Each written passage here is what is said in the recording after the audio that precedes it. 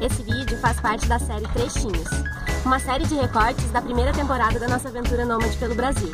Se você quiser ver os episódios completos, é só acessar o link abaixo. Um abraço e até o próximo vídeo. Tchau!